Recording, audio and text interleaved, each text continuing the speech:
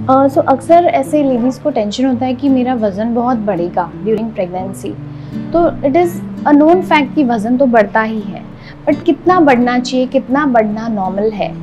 First three months में usually इतना weight gain नहीं होता है जितना थर्ड मंथ से लेके नाइन्थ मंथ तक होता है. फ़र्स्ट थ्री मंथ्स में around two K Gs one to to के जीज बढ़ता है। फिर थर्ड मंथ से लेके सिक्स मंथ तक around three two five K Gs बढ़ता है। एंड मैक्सिमम वेट बढ़ सकता है between six to nine months because तभी एक्चुअल बेबी का वेट गेन होता है। So that is the time जब मैक्सिमम वेट गेन हो सकता है। So on an average during the whole pregnancy single pregnancy में अराउंड 8 टू 12 के का वेट गेन हो सकता है। और अगर आपको ट्विन प्रेगनेंसी है तो अराउंड 10 टू 15 के का कभी कभी वेट गेन भी हो सकता है।